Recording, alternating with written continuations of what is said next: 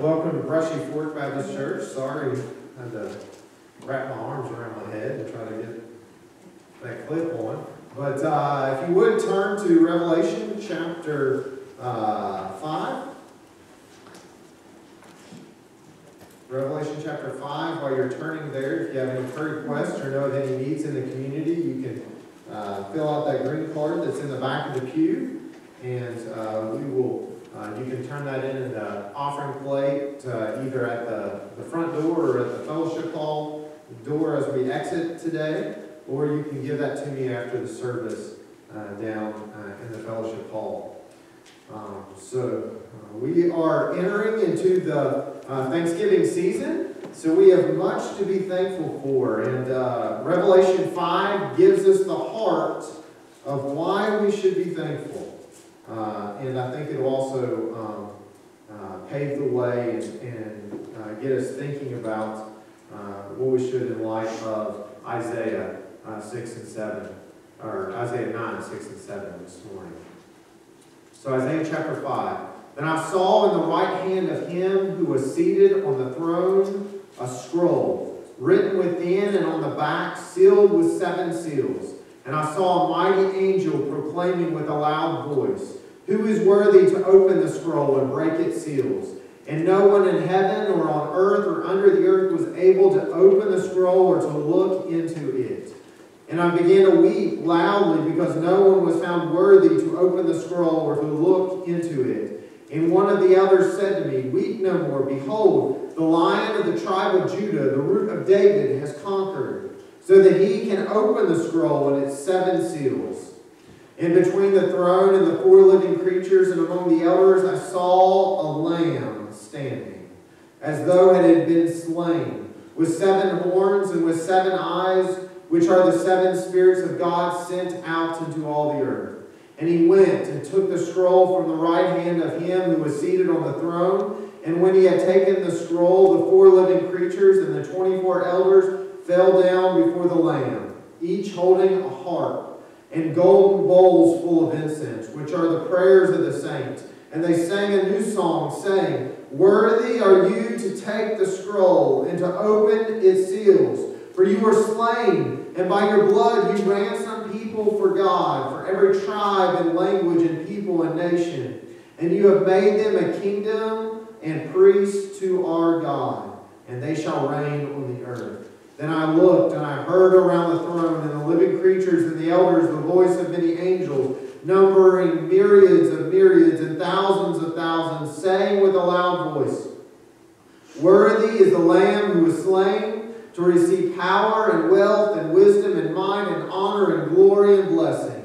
And I heard every creature in heaven and on earth and under the earth and in the sea and all that is in them saying, To him who sits on the throne and to the Lamb be blessing and honor and glory and might forever and ever. And the four living creatures said, Amen. And the elders fell down and worshipped. Let's pray. Father, we thank you for this day that you have given us. And Lord, we thank you for this mighty vision that you gave John in Revelation chapter 5. And, and Lord, the despair that begins the chapter, Lord, there is no one to take the scroll and open it. But Lord, that isn't true. Because Jesus has done everything required of him. He was able to stand up and he was able to take the scroll and he was able to open it. So, Lord, we thank you for that. Lord, we thank you that, that there is someone who is worthy. There is someone that, that has done all the, the requirements. There is, there is one who is righteous, and he is our God. So Jesus opened that scroll, and Lord, uh, because of his ability to take that scroll and open it, Lord, he is worthy of all our praise. All of the earth, every knee will bow, every tongue will confess that Jesus.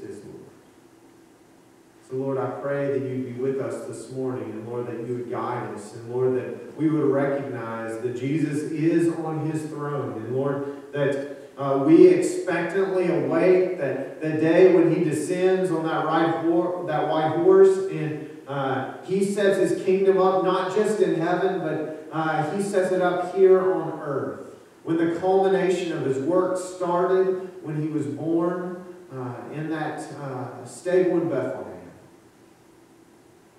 Lord, it ended when He ascended to the right hand of the Father, conquering death uh, on our behalf. Lord, we thank you for that. We thank you for the promise that is wrapped up in the gospel of Jesus Christ. Because of the life he lived, because of what he has done, because of the, the promise he's fulfilled, because he was uh, he did what Adam couldn't do, Lord. He did what Abraham didn't do. Lord, he did what Moses uh, wouldn't do. And Lord, he was uh, able to accomplish what King David tried but failed. Lord, we pray that you would, uh, Lord, give us eyes to see. And Lord, we thank you for that. Lord, I pray that uh, you would help us to take comfort in these trying times in the fact that Jesus is on the throne. Uh, and Lord, we pray that, uh, that we would live in light of, of that truth. Lord, we would recognize that the words of Revelation 5 uh, are true and Lord, they will be visibly seen as true uh, when that day comes when Jesus descends on that white horse. Lord, we thank you for that. In Jesus' name, amen.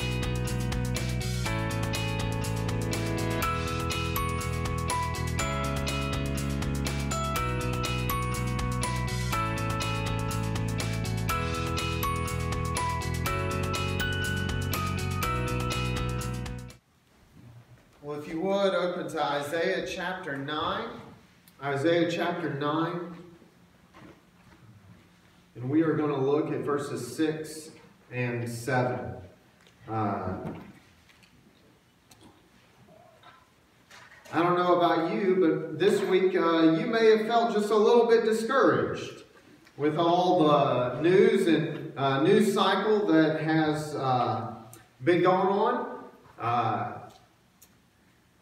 I want us to look at uh, Isaiah chapter 9, verses 6 and 7, and uh, see that in times of political uncertainty, there is a comfort. There is a answer. Uh, 2020 has been a whopper of a year, hasn't it? Uh, we've uh, experienced a global pandemic, that which we haven't seen since uh, probably 1918. Or, uh, did I say that right? Yeah, 1918. Um, for some reason, when I said it, it did not sound right. Uh, then, uh, not only that, but all the unrest this summer, all the, the riots and uh, political unrest and, and the cities uh, on fire and, and all the turmoil that goes with that. Um, it seems like all kinds of things have gone wrong. And it's easy to get caught up in all the negative problems that are around us. Uh, but let those negative things point us to the truth. Uh, even though the world will wane towards destruction, uh, but that only means that the day when that trumpet sounds and the sky splits open is one day closer uh, than it was before. Our Savior will uh, descend. In fact, Carrie and I were actually talking this week about 2020, and, and we hope that we can live to a ripe old age when we can talk to our grandkids, and as they're reading it in the history books, we can tell them exactly what it was like uh, to live through uh, 2020. Um, but this morning, uh, we need to look at Isaiah uh, chapter 9, verses 6 and 7. So let's look at that this morning. For unto us a child is born, to us a son is given. And the government shall be upon his shoulder, and his name shall be Wonderful Counselor, Mighty God, Everlasting Father, Prince of Peace. Of the increase of his government and of peace there will be no end. On the throne of David and over his kingdom to establish it and to uphold it with justice and with righteousness for this time forth and forevermore, the zeal of the Lord of hosts will do this. Let's pray. Father, we thank you for this passage of Scripture. And Lord, we thank you that uh, it should be a great encouragement to us today because of the, the political unrest and the uncertainty that, of the days that we live in. Lord, uh, these words by Isaiah should uh, drive truth home to us. Lord, that, uh, that the uncertainty and the negativity and, Lord, the, the, the anxiety that that brings, Lord, that doesn't have to be our focus. Lord, there is a, an overarching truth that, uh, that um, forever shadows the problems that we may be facing. And Lord, we thank you for that. Lord, we thank you that there is a new day dawning, and, and Lord, that that day will bring about eternity with Christ uh, as our King of Kings and Lord of Lords. Lord, we thank you for that. Lord, until that day dawns, Lord, we expectantly wait. And Lord, we recognize that, uh, that this world may seem like it's falling apart. And Lord, that the prophecies that, that have been given, Lord, you expect us to, to understand that. Lord, we, we will hear about all kinds of evil things and all kinds of, of problems that this world is facing. But Lord, that just means that your plan is, is continuing at pace and Lord, that you are still in control. And Lord, that we can trust and look to you. And Lord, we thank you for that. In Jesus' name, amen. This morning, Isaiah chapter 9, 6, and 7 tells us, it points us to the fact that we are to look to Jesus, who has the weight of their government squarely on his shoulders. It's interesting. We know this passage of Scripture because uh, we look at it probably practically every Christmas time. But uh, in Isaiah's day, this would not have been a Christmas message. Christmas had not come yet, had it? No, in Isaiah's day, the problem that Isaiah was facing, the problem that Israel was facing, is what they is they didn't know politically what was going to happen to Jerusalem. Assyria had come up to the gates and it looked like they were going to take the city. And, and the Lord, in his mighty uh, arm of power, drove them back miraculously. And then Babylon came, and they came to the city walls, and, and they are, uh, the city of Israel is expecting to be overtaken by Babylon. This is a, a time in, that Isaiah is writing in, in a lot of political upheaval. The city of Jerusalem doesn't know what is going to happen tomorrow. And Isaiah writes this as a comfort to them. And he tells them in verse 6 For to us a child is born, to us a son is given.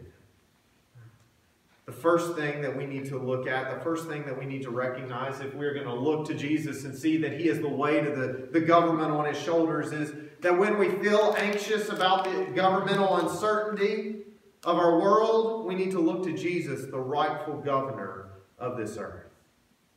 You see, uh, verse 6 starts out in a way that we probably wouldn't have felt very comforted by in Isaiah's time.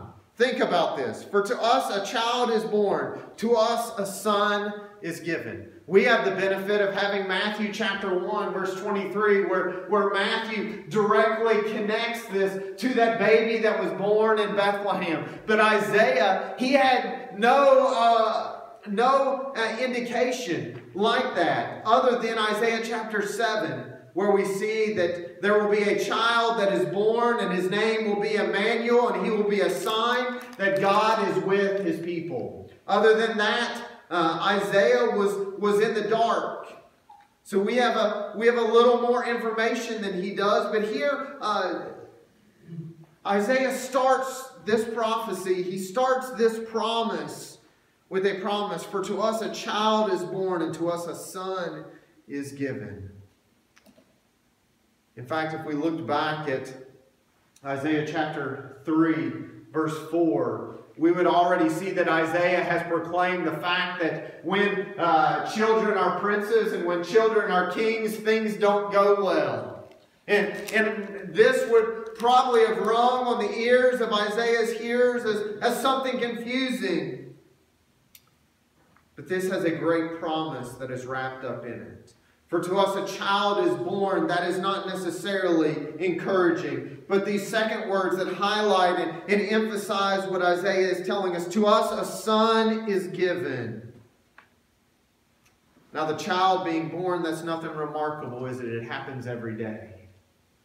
But here, Isaiah points back to chapter 7 and to us a son is given. This is the promise of the one Emmanuel. This is the God with us child. This is the child that is a sign that God has not left his people and that his promises are coming to fruition.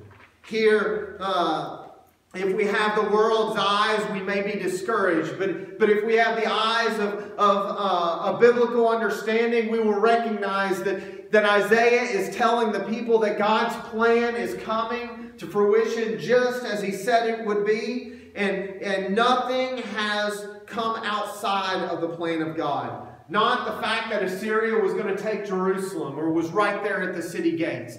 Not because Babylon is massing an army and coming for the city this time, surely to take it. No, even that falls within God's plan because there is a son that is given. This son has the Davidic title. This son is the promised Messiah.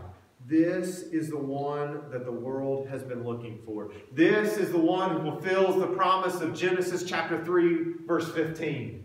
This is the one that, that God gave the promise to Eve right after the fall that there will be one, one of her children will come and he will crush the head of that serpent. That's the, the introduction to this promise. And then we see in the promise to Abraham that Abraham is, is promised that his descendants would be as uh, plentiful as the stars in the sky and the sand on the seashore. And that is really hard to number, isn't it?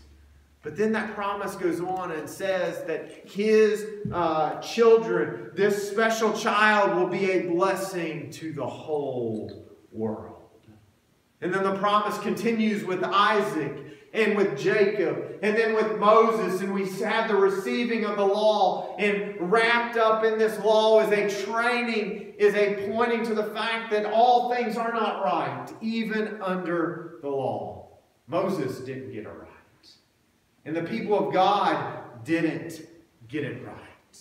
In fact, they struggled all throughout the Old Testament. We see that, that even King David, who, who the prophets spoke about him, who was one who was a man after God's own heart, David didn't even get it right. But yet, this child, this son, is the one who fulfills that promise that, that that kingdom will not leave the descendants of David. Jesus is the rightful heir of the kingdom of David, and he will sit on that throne for all eternity.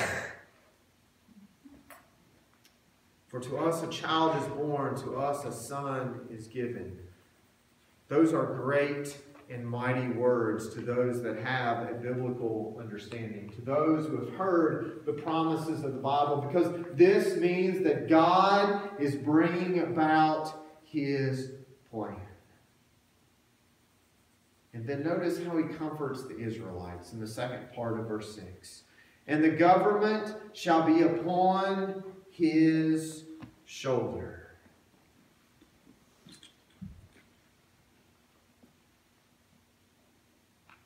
If we are anxious today about the political situation we find ourselves in, look to this part. Because we have a promise, and we have a promise that recognizes that there is a kingdom that is greater than the one in which we reside. As great as America is, as thankful uh, that, we, that we are for the freedoms that we experience here in America, there is a kingdom that is greater than it. That if we know Jesus, then we are citizens of that kingdom. You see, Israel was facing a great political uncertainty. And Isaiah comforted them by telling them that this child, this one that is coming, this Son of God, this one is going to be the one whom the government shall be upon his shoulders. The problems that they were facing, the problems that they were encountering, the fears that they had, uh, Isaiah is telling them that God has the answer. If it looks like Jerusalem is going to be overtaken, if it looks like you're going to be sent into captivity, don't despair because God is not done. You see, there is one who is coming, whose go- who government shall be upon his shoulder. And this is a blessed promise. You see, this is a promise because countries have walls and they need walls because there is a sin problem that abounds on this earth that is vast. But there is a kingdom that comes that will no longer need a wall, it will no longer need a border because the sin problem will be taken care of. And the kingdom shall rest on his shoulders. Jesus is the heir and proper ruler for the kingdom of God. A child king oftentimes brings rather uncertain times, doesn't it? Think about the time of Josiah and the time of Israel. He uh, received the kingdom at a very young age, and fortunately for him, there were ministers that, that took over a great majority of the, the role of administering the kingdom until he was of age and responsibility where he could do it. A, a kingdom that is led by a child oftentimes goes into ruin. In fact, we know that because sometimes adults act like children and they drive things into the ground, don't they? Even an adult who acts like a child will run things amok. But here, Isaiah is saying that this child will be unlike any other child. This child will be able to bear up under the responsibility of not just the government of this world, but he will be able to do it with perfect obedience. Jesus as a child is far better than any ruler we have ever experienced. Our current political reality only points us to the fact that we need a better king. We need a better system.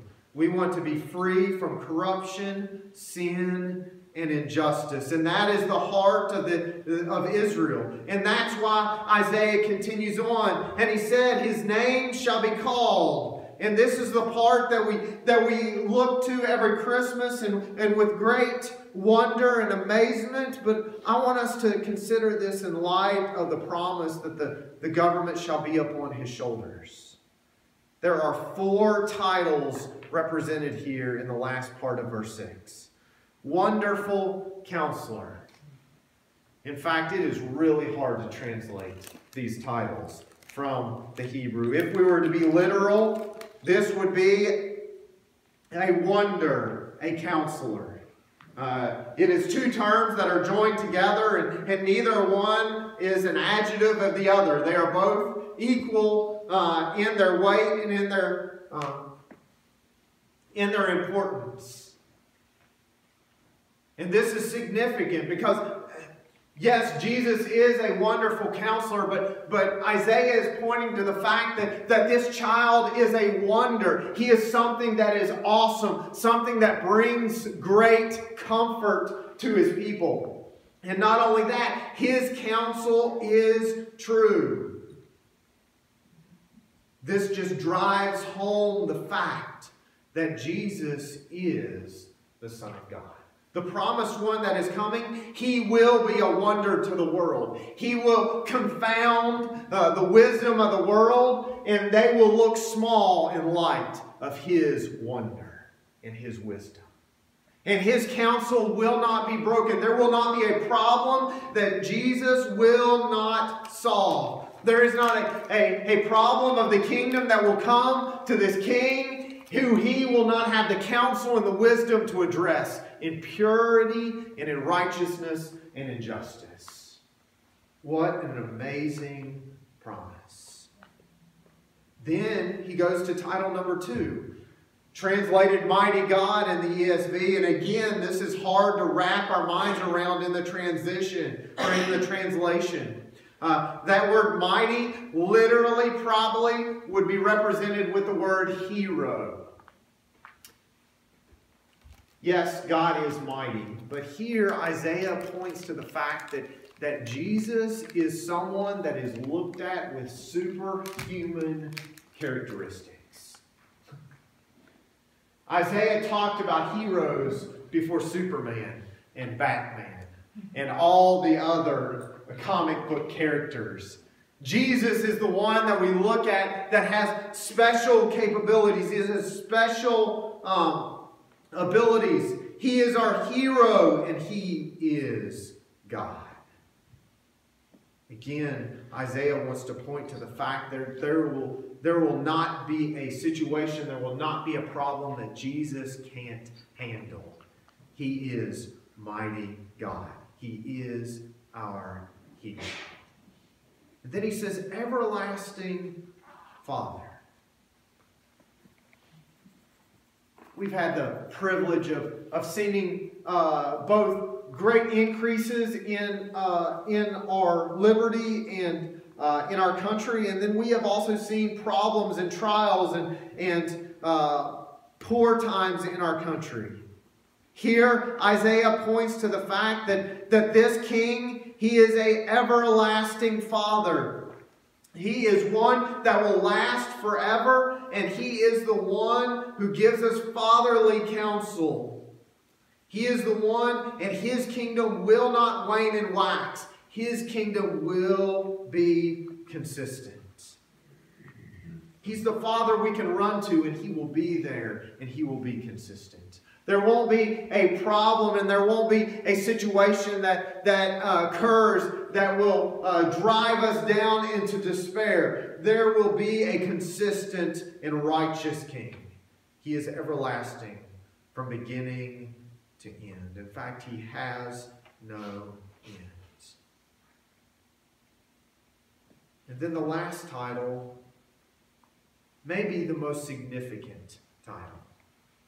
He is the Prince of Peace. So interesting because Isaiah in Isaiah chapter 3 connects this, this idea of a prince being a young child and being a detriment to the kingdom. But here, this Prince of Peace, he is the one who brings about the promise of God. He is the one who brings about peace. This child, yes, he is a prince, but he is a prince that will bring peace, the peace that we long for. It's not just the, the fact that there will be no wars, but everything will be set right. As we're going to see in, in Isaiah chapter 11 and Isaiah chapter 65, all the tears will be wiped away, all the struggles will come to naught. Under the kingdom of Jesus, our King, we will not have any discouragement or any problems. He will be the prince that brings about peace. So when we get discouraged at our political situation, we should turn our eyes and hope to Jesus, our proper King. We can trust him. We can trust him because of these four titles Wonderful Counselor, Mighty God, Everlasting Father, Prince of Peace. In fact, Jesus is everything we need right now in this moment. Joe Biden or Donald Trump will not save us, nor will they save our country. Only Jesus can because he holds in his hands and directs the hearts of kings. So Isaiah encourages us to put our hope in Jesus and be patient as we wait out the resolution of our political chaos. It will be resolved. Isaiah wants us to realize, just like the Israelites, when the political turmoil becomes discouraging, God has a plan. And God is on his throne. And God is at work. So, secondly, not only uh, do we need to, to look to Jesus, or when we feel anxious about the government uncertainty, because he is our rightful governor of the earth, but we also need to run from the person who promises utopia on this earth and run to the only real utopia, which is the kingdom of God. Look at verse 7. We oftentimes focus so much on verse 6, we lose sight of the promise that is given in verse 7. Of the increase of his government and of peace, there will be no end. Think about that. As anxious as you might be today because of the political circumstances that are here, the promise of Jesus is that the increase of his government. What does that mean? Well, that means that, that the justice of his government will have no increase, it will be perfect. The economy of his government will be perfect. There will be no increase. We will have everything we need. His righteousness his justice, he will deliver all of those. You see, politicians are quick to promise utopia because it gets them elected. However, there is only one king who can bring about the fact that the increase of his government and of peace will be there forever. And who is that king? on the throne of David and over his kingdom to establish it and to uphold it with justice and with righteousness from this time forth and forevermore. That king is King Jesus, according to Matthew chapter 1, verse 23. Jesus is the one who brings the increase of government. He brings the peace. He's the one who upholds justice. He's the one who brings righteousness. And all of this happens because of the zeal of the Lord of hosts. He is doing it. This is happening according to God's plan. Just like in the days of Isaiah, God knows exactly what is happening here today, and it is not a surprise to him. In fact, God is bringing forth his plan forevermore. That leads us to consider what God's kingdom is going to look like. What does it look like to live in light of this king? Look at Isaiah chapter 11, starting in verse 1. There shall come forth a shoot from the stump of Jesse, and a branch from his roots shall bear fruit. And the Spirit of the Lord shall rest upon him, and the Spirit of wisdom and understanding, the Spirit of counsel and might, the Spirit of knowledge and the fear of the Lord. And his delight shall be in the fear of the Lord. He shall not judge by what his eyes see, or decide disputes by what his ears hear. Listen to that. Jesus doesn't have to rely on visual and auditory censorship. He knows what is going on. Reality is His. And he shall strike the earth with the rod of his mouth, and with the breath of his lips he shall kill the wicked. Righteousness shall be the belt of his waist, and faithfulness the belt of his loins. Don't we long for that type of leadership? And then he says in verse 6, he gives us the description of what this kingdom will look like. The wolf shall dwell with the lamb, and the leopard shall lie down with the young goat. That doesn't happen here on this earth, does it? you get a wolf and a lamb together, and there's lamb chops. You get a leopard and a goat together, and you've got some messed up goats. And the calf and the lion and the fatted calf together, and a little child shall lead them. The cow and the bear shall graze, their young shall lie down together, and the lion shall eat straw like the ox. The nursing child shall play over the hole of the cobra, and the weaned child shall put his hand on the adder's den. They shall not hurt or destroy in all my holy mountain. Talk about peace. For the earth shall be full of the knowledge of the Lord, and the water as the waters cover the sea.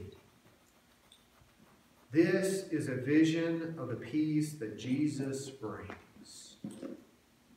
through the turmoil of what we experience, this is the promise that Jesus holds out. One day, everything will be set right. There won't just be any wars. There won't just be uh, all of these things that trouble us. Everything will be set right to the fact that the child can play with the cobra, that a wolf can lie with a lamb. What a promise we receive. When we look at Isaiah chapter 61, we also see the continuation of this promise. Starting in verse 1, the Spirit of the Lord is upon me, because the Lord has anointed me to bring good news to the poor. He has sent me to bind up the brokenhearted, to proclaim liberty to the captives, and the opening of the prison to those who are bound, to proclaim the year of the Lord's favor and the day of vengeance of our God to comfort all who mourn, to grant to those who mourn in Zion, to give them a beautiful headdress instead of ashes, the oil of gladness instead of mourning, the garment of praise instead of a faint spirit, that they may be called oaks of righteousness, the planting of the Lord, that he may be glorified. They shall build up the ancient ruins, they shall raise up the former devastations, they shall repair the ruined cities, the devastations of many generations. Strangers shall stand and tend your flocks, foreigners shall be your plowmen and vine dressers. But you shall be called the priests of the Lord. They shall speak of you as ministers of our God. You shall eat the wealth of the nations, and in their glory you shall boast. Turn over to Isaiah chapter 65, starting in verse uh, 17. He continues. For behold, I create new heavens and a new earth, and the former things shall not be remembered or come into mind. But be glad and rejoice forever in that which I create. For behold, I create Jerusalem to be a joy, and our people to be a gladness. I will rejoice in Jerusalem and be glad in my people. No more shall be heard in it the sound of weeping and the cry of distress. No more shall there be in it an infant who lives but a few days, or an old man who does not fill out his days. For the young man shall die a hundred years old, and a sinner a hundred years old shall be accursed. They shall build houses and inhabit them. They shall plant vineyards and eat their fruit. They shall not build and another inhabit. They shall not plant and another eat. For like the days of a tree shall the days of my people be, and my chosen shall long enjoy the work of their hands. They shall not labor in vain or bear children for calamity. For they shall be the offspring of the blessing of the Lord, and their descendants with them. Before they call, before they call, I will answer. While they are yet speaking, I will hear. The wolf and the lamb shall graze together, the lion shall eat straw like the ox, and dust shall be the serpent's food. They shall not hurt or destroy in all my holy mountain, says the Lord. This is the promise that Jesus holds out. Jesus holds out that his kingdom will be a kingdom that is at peace.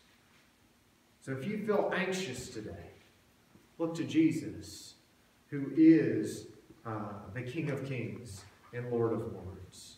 If someone promises you utopia, run from their promise and run straight into the arms of Jesus, who provides a kingdom of peace. To be able to experience this peace, we have to have a relationship with Jesus. Uh, to, to have a relationship with Him, we must know uh, the good news of the gospel of Jesus Christ. So, uh, so let me share that with you uh, just sh shortly. Uh, before we get to the good news, though, you guys know we have to talk about the bad news. The bad news is that every one of us is a sinner.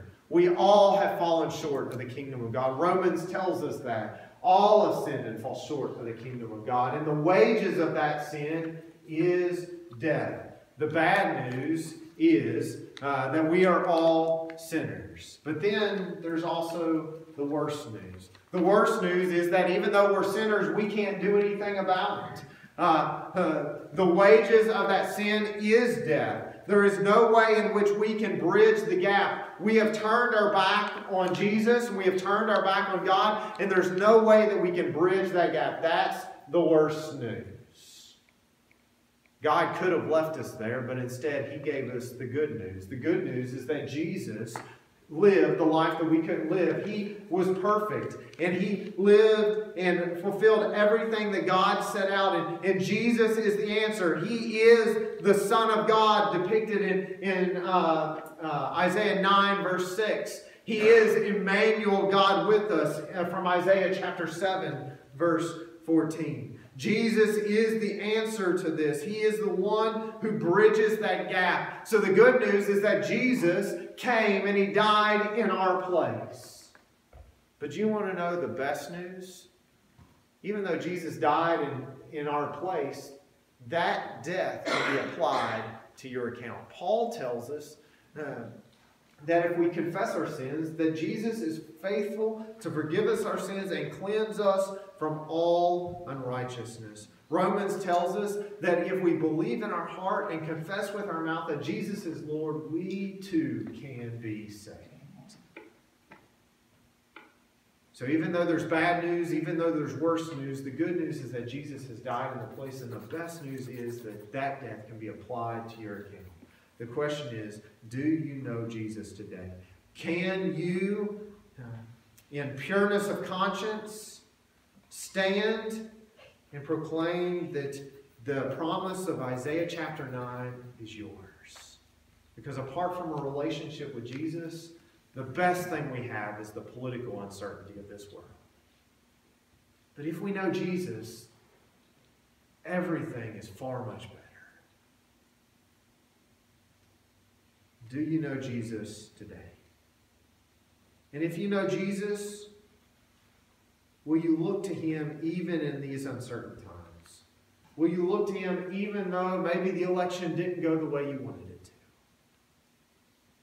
Be encouraged. God is still on his throne. And Jesus is the one who government will rest on his shoulders. He is the one we look to. Let's pray. Father, we thank you for your word. And Lord, we thank you for this passage of Scripture. Lord, uh, it is a Christmas passage. It is applied to the birth of Jesus, but Lord, it speaks to us today, and we thank you for that. And Lord, it is a great way to point us to uh, a time of thanksgiving. Lord, uh, we can't be thankful unless we know the blessing that we have in Jesus Christ. Uh, Lord, we may be able to uh, to feign some thankfulness, but Lord, we can't be truly thankful without realizing what Jesus has done on our behalf. So, Lord, as we walk and move towards Thanksgiving, I pray, Lord, that the truth of Isaiah chapter 9 would, would be rooted deep into our souls. Lord, as the, the week, as the days and weeks unfold, as uh, we uh, come to learn after uh, all the, the litigation and, and hopefully by December 14th when the, uh, the state legislatures elect the electors that will go to the, the um, electoral college, Lord, uh, I pray that we would know the outcome of the election and Lord, that you would give us grace and peace through that time. Lord, that you would be with our country. Lord, that uh, we are so thankful for uh, even though it seems like everything's fallen apart, Lord, for the rigidity of our system. Lord, uh, the founders made a way for these problems. Lord, we are so blessed to have a court system that will litigate these. Lord, uh, they will share uh, what is given in, uh, in discovery. Lord, we will not be hidden. It won't be hidden what is what has happened. If there's, if there's fraud, then it will be unearthed. So, Lord, we thank you for all of, uh, all of these things. Lord, we thank you for the rigidity of our country. And Lord, we pray that you would continue to bless America, no matter uh, what, um, what happens uh, through the deciding uh, factors of, of the end of this election. So, Lord, I just pray that you be with us, comfort us. Don't let us be bogged down in discouragement, but Lord, help us to set our eyes on Jesus. And Lord, our hope is not in uh, this government because it will fail us, but Lord, our hope is in the one who will show, shoulder all of government for all eternity, and he will be a just king. Lord, we thank you for that. In Jesus' name, amen. If you feel like the Lord is leading you to have a personal relationship with him, then let me just share with you the best news. To share with you the best news, I have to share with you the bad news. The bad news is that we are sinners uh, and we fall short of the glory of God. Paul tells us, for all of sin and fall short of the glory of God. That means that that relationship in Genesis chapter 1 and 2 that Adam and Eve had, that they had, were in relationship with God, that means that our sins break that relationship. Just like Adam and Eve rebelled against God, we are sinners too, and we rebel against God, and that relationship is broken. That's bad news, but that's not the worst news. The worst news is we can't fix that relationship. The Bible tells us that the wages of sin is death. That means uh, the, what we have earned by our sin is death, and we can't change that. That's depressing. That's hard. But God doesn't leave us there. Thankfully, He gives us good news, even amongst this bad news and the worst news. God gives us good news, and the good news is the gospel of Jesus Christ. Uh, Jesus came, He died on an old rugged cross. He, wa- he lived the perfect life that God called us to. He died on our behalf, and, and Jesus offers us the free gift of eternal life. He offers us salvation. That's the good news. But the best news is that Jesus' offer can be applied on our account. We can know Jesus as our personal Lord and Savior. We can have that relationship restored. How do we do that? We do that by faith. Faith is an odd word, but it simply means trust. I'm trusting that the seat that I'm sitting in is going to keep me off the floor. We have to place our faith. We have to trust that Jesus is who he says he is and he did what he said he did. We have to trust that. And we have to trust that He will honor His promises, that if we confess our sins, He is faithful and just to forgive, us our sins and cleanse us from all unrighteousness. We express that oftentimes by praying. So if you'd like to know Jesus as your Lord and Savior, I encourage you to pray a prayer, uh, something like this, where you uh, tell God that you recognize that you're a sinner and that your sins have separated and broken that relationship with Him, and to tell Him that you're sorry, and, and to realize that Jesus uh, came to be the answer. He came to, to die, and to live the perfect life, and to die in your place, and that you are accepting, you believe that Jesus did that. And you want his death to be applied to your account. You want the forgiveness of your sins, and you want to follow Jesus in obedience the rest of your life. If you've made that decision, would you reach out to us? Would you email us at info at brushyforkbaptist.com or contact us on Facebook? We'd love to hear that you've made a, a commitment to follow the Lord. God bless.